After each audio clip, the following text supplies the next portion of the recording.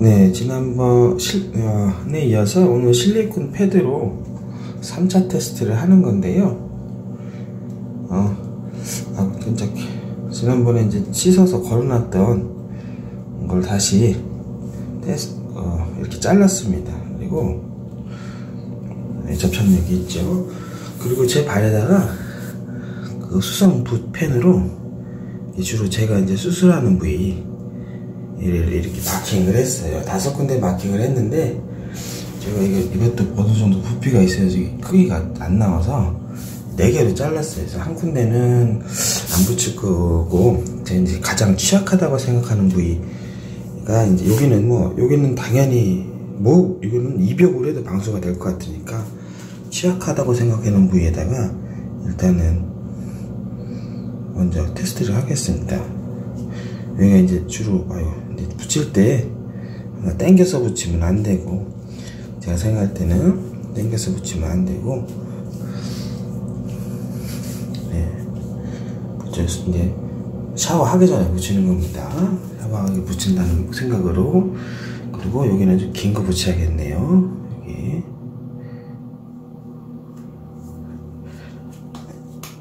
붙이고. 이제 물이 들어가면 지금 이제 수성이니까 떨어지겠죠. 뭐. 아, 이렇게 번지겠죠. 그 잉크가. 그리고 여기는 이제 외곽 골절이 됐든 아니면 종골 골절이 됐든 수술 절개를 다양하게 하는 부위입니다. 여기도 그냥 그대로 해서 끝에는 아, 이 마주는 주름 안지에 잘 붙이고 그리고 이제 지간신경종 지간, 지간신경종 수술할 때, 저 절개가 이제 많이 들어가는 부위인데요. 이렇게 할 거예요. 여기를. 어, 공평하게 하기 위해서 이렇게.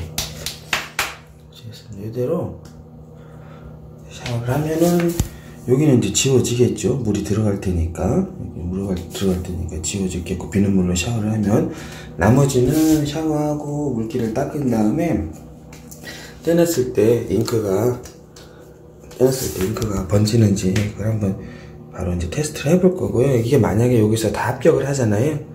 그럼 제가 다음에는 차, 그 입욕 목욕탕에 들어가서 어, 또 효과가 있는데 테스트를 해보겠습니다. 이대로 저 샤워기 아래에서 샤워를 하고 다시 재녹화를 하겠습니다.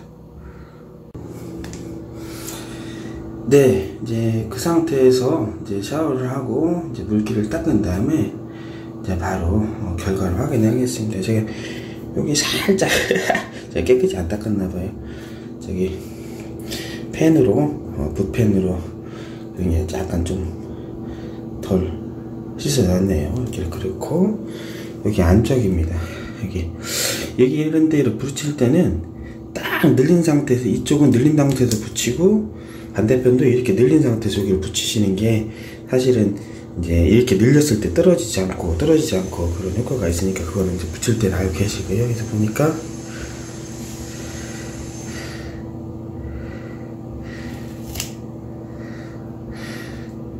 예.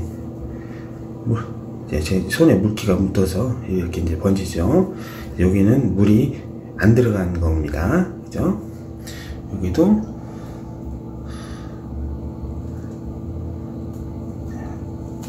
깨끗하죠. 제가 이제 문질러면 번지겠죠. 왜냐면 수성이니까. 그죠? 그리고 여기도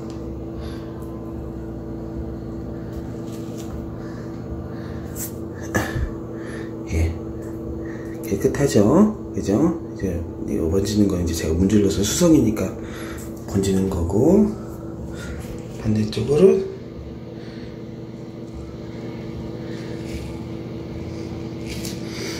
예, 여기도 깨끗합니다.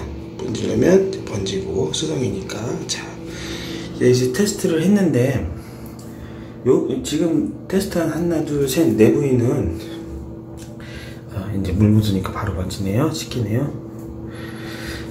테스트한 내부에는 이제 제가 이제 수술을 주로 많이 하는 부에다 붙인 건데요. 이 이제 이거는 이제 의료용이죠. 흉터를 안 생기게 하는 실리콘 패드입니다. 이거는 효과가 좋네요. 오늘 테스트까지는 샤워 테스트까지는 어제도 그렇고 그 다음 그 전 테스트도 그렇고 자 다음에는 제가 이거 자른 걸 그대로 똑같이 여기에다 그림을 그린 다음에 입욕을 하겠습니다 입욕. 그래서 다음에 테스트 할 때는 이제 제가 1, 2, 3, 4 하면서 어 이렇게 붙이는 게 낫겠구나 라고 하는 짧은 어 생각을 추가를 해서 붙인 다음에 입욕을 하겠습니다. 목욕탕에도 들어가도 되는지. 그래서 그 테스트까지 마무리하고 최종적으로 어, 결과를 어, 여러분들한테 이렇게 보고하고 공개할 수 있도록 하겠습니다. 감사합니다. 네, 안녕하십니까. 저희 광차입니다. 어, 지금은 이제 아침에 이어서 이제 말씀드렸던 것처럼 저녁에 이제 목욕탕에 들어가도 입욕을 해도 이게 이제 잘 아, 붙어 있는지 이렇게 그 실리콘 패드죠. 그 말씀드렸던 것처럼 흉터를 좀 덜 남게 하는 수술 부위 흉터를 최소화할 수 있는 그런 치료 보조 어, 제품을 이제 붙여놓고 어, 흉터 덜 남게 하기 전에 방수 목적으로도 어, 쓸 수 있는지 그래서 샤워가 가능하다는 거는 어, 이전 테스트에서 보여드렸고 목욕도 가능한지 그걸 이제 음, 테스트 해보겠습니다. 이런 이제 이번에는 이런 굴곡진데 이렇게 굴곡진데에다가 한번 해보고요. 똑같이 제가 수술을 많이 하는 부위 발목 외측 복숭뼈, 발등, 무지외반증 수술하는 뒤 발목 내측 보승뼈 있는 데다가 붙여보고요. 그 다음에는 이제 이런 이제 굴곡이 없는데 종아리나 팔뚝이나 허벅지나 이런 데서 똑같이 또 테스트를 해보겠습니다. 어, 제가 그림 그린 거는 붓펜 물 들어가면 번지는 그런 붓펜이죠. 그걸로 이제 그린 거고요. 그리고 오늘은 특별히 또 이 붙이는 거를 좀 다르게 해보겠습니다. 왜냐면 얘를 쭉 늘려서 붙이면 어, 나중에 발목을 움직이면서 늘려서 붙은 데는 떨어질 가능성이 있거든요. 그러지 말고 붙이는 데는 얘를 피부를 늘린 다음에 얘를 늘리지 않고 그대로 붙여서 이렇게 하면 나중에 발목을 움직여도 어, 떨어질 확률이 낮을 것 같아요. 그래서 붙이겠는데요. 네. 한 손으로 하려니까 뒤를 붙일 때는 이런 굴곡진데 뒤를 붙일 때는 발목을 뒤로 최대한 제껴서 붙이고 특히 이제 이 끝부분 마진이죠 마진 그리고 아, 아 뒤로 이제 이렇게 붙, 먼저 붙인 다음에 앞부분을 붙일 때는 최대한으로 이렇게 해서 붙여서 붙여서 이렇게. 이 마진은 주름이 안 지게 이렇게 한번 이제 붙여 보겠습니다. 그래서 오 직전에 이렇게 붙이고요. 그래서 어느 정도 압박을 가하고. 여기도 이쪽을 붙일 때는 구부려서 붙이고 이쪽을 붙일 때는 펴서 붙이고 이렇게 해서 한번 해보겠습니다.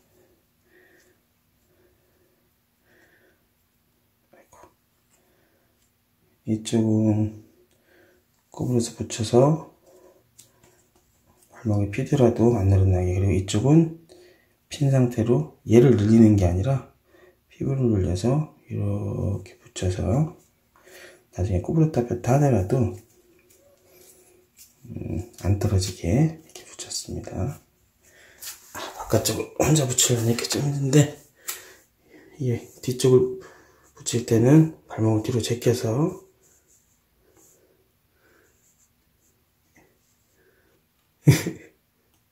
잘 안 되네 한 손으로 하려니까 잠시만요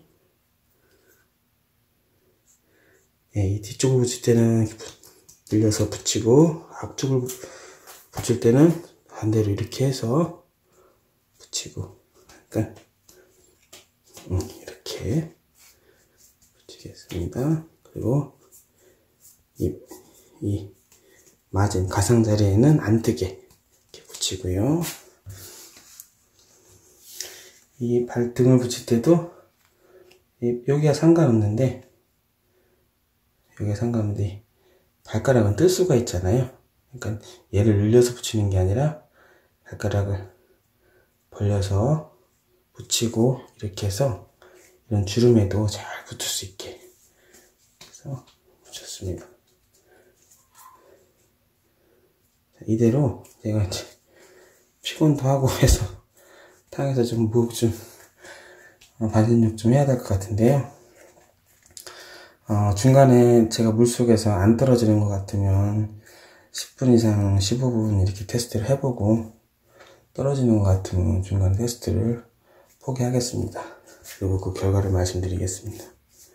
그래서 이렇게 한 군데, 두 군데, 세 군데, 네 군데를 해서 아, 잠시만요.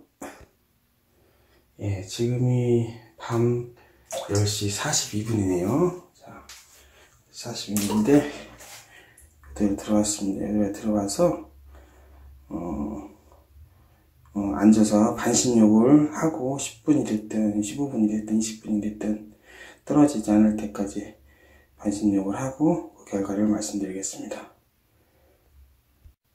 예. 어, 왼발 보이시죠? 오늘 아침에 테스트 했던데 제일 위에는 어, 샤워하면서 지웠던데 그 밑에 예, 그림 그대로 있네요. 아침에 테스트 한 그대로 상태이기 때문에 있습니다. 그래서 오늘 오른발에도 한 거고요. 이대로 테스트 진행하겠습니다. 네, 지금 입욕한 지 11분이 지났는데요.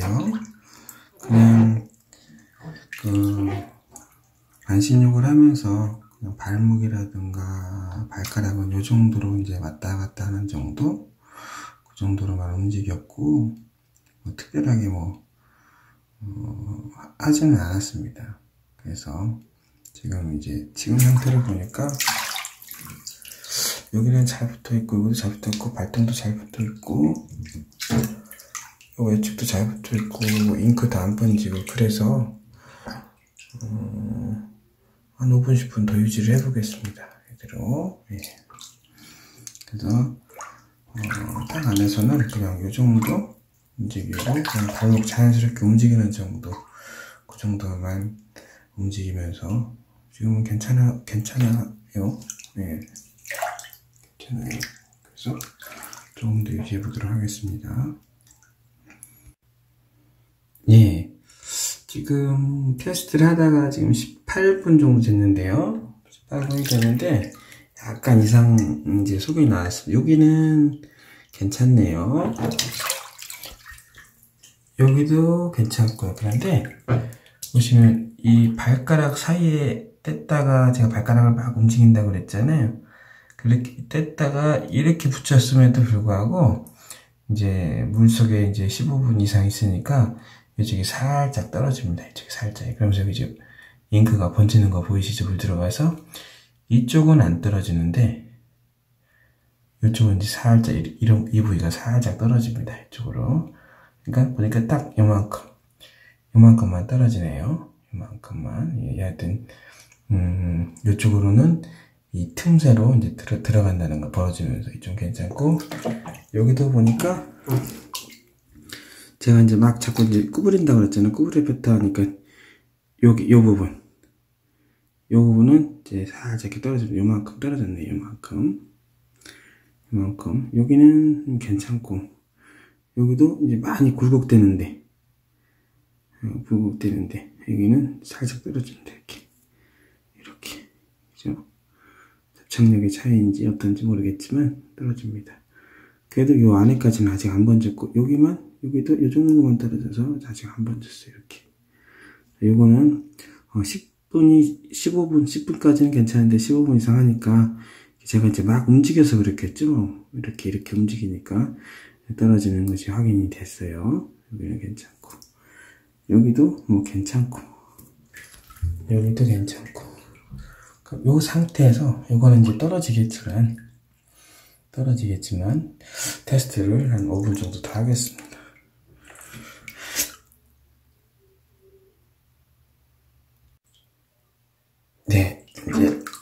시간으로는 제가 탕에 들어온 지 21분이 됐는데요. 자, 여기 아까 때 15분 지나서 조금 떨어지기 넘어서 17분째 테스트할 때 이만큼 막 움직였던데 이만큼은 살짝 떨어지죠? 이만큼. 근데 여기는 이제 안 떨어집니다. 이렇게 이렇게 해서 이건 됐고요. 그래서 보시면 이건 이제 떼면서 물이 흐른 거고요. 여기는 물이 예, 들어가서 이만큼 떨어졌던데 그리고 여기도 여기는 살짝 번졌죠? 여기 끝에 근데 이쪽은 발등 쪽은 괜찮습니다. 그래서 괜찮고요. 여기입니다. 여기도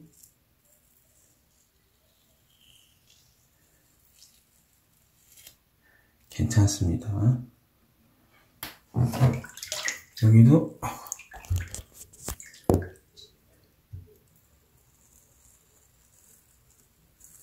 네, 괜찮습니다. 자, 그래서 물이 들어가면 이렇게 다금하게 번지거든요. 여기 수성 붓펜이라 이렇게 예, 10분까지는 괜찮았는데 15분, 17분 지나면서부터 이제 요 부위, 요 부위, 요 부위, 과굴곡 신전되는 부위에서는 이렇게 제가 이제 막 움직이면서 이런데 미세하게 틈이 생기면서 그쪽은 물이 들어가서 이 이쪽은 이제 벌어지는 걸 확인했고요. 이 틈 제가 혹시라도 이렇게 막 움직이면서 늘려서 딱 붙이면은 벌어질까봐 발가락을 벌린 상태에서 붙이고는 서는 않음에도 불구하고 제가 막 움직이고 이제 그 무을 하면서 이렇게 막 움직이다 보니까 이 사이가 이제 틈이 생기면서 살짝 벌어지면서 요만큼이 물 빠지는 소리가 나네요. 요만큼이 예 어, 물이 새는 것을 확인할 수 있었고 여기는 여기는 예, 물이 안 새는 것을 확인할 수 있겠습, 있었습니다. 자, 잠시 후에 다시 결론을 종합하겠습니다. 네. 이번 테스트에 이제, 물론 이제 한 번뿐인 테스트지만, 논문도 아니고, 여러 케이스를 경험한 것도 아니고, 한 번 테스트를 해봤는데요. 그, 음, 흉터를 어, 최소화할 수 있는 의료용, 의학용, 치료 보조 재료인, 어, 실리콘 패드, 어, 스킨, 스킨, 아, 시, 시카 클리닉, 뭐 시카 케어, 뭐 이런 제품들, 이런 제품들을 그냥 흐르는 물에서, 이전에 테스트했던 흐르는 물에서 샤워는 다 안전한 것 같고, 그리고 입욕 테스트에서는, 어, 조금 굴곡이 져더라도 발목이나 발등이나, 어, 발 바깥쪽, 뭐 그런 것도 다 어, 10분, 17분, 18, 21분 뭐 다, 어, 스며드는 거는 없었습니다. 거기는 이제 제 경험상 이번 테스트 상에서는 이제 안전하게 사용할 수 있을 것 같은데, 발가락 틈, 그리고 이제 발가락이 막 과굴고 과신전 되는 부위에는 막 발가락을 움직이다 보니까 살짝의 틈이 생겨서 물이 어, 살짝 새는 그런 결과를 얻었습니다. 자, 근데 뭐 환자분들께서 뭐 다 발가락만 발가락 사이만 수술하는 건 아니고 제가 이제 발을 수술하는 의사다 보니까 그 테스트를 했는데 하나 더 이제 추가적으로 음 내일 아침이나 저녁에 아까 그 자른 패드를 팔뚝이랑 팔목, 팔뚝, 종아리 아니면 허벅지 그런 데다가 한번 붙여보고 다른 일반 어, 부위에서 적용을 하였을 때 어, 관절이나 발가락 틈 어, 그런 부위가 아니라 일반 부위에 사용했을 때는 이게 당연히 뭐 샤워는 괜찮을 것 같고 그것도 같이 해보겠지만 입욕을 했을 때 이게 얼마나 오랫동안 방수 기능을 하는지 그 결과를 어, 다시 어, 이어서 어, 보여드리고 설명드리도록 하겠습니다. 감사합니다.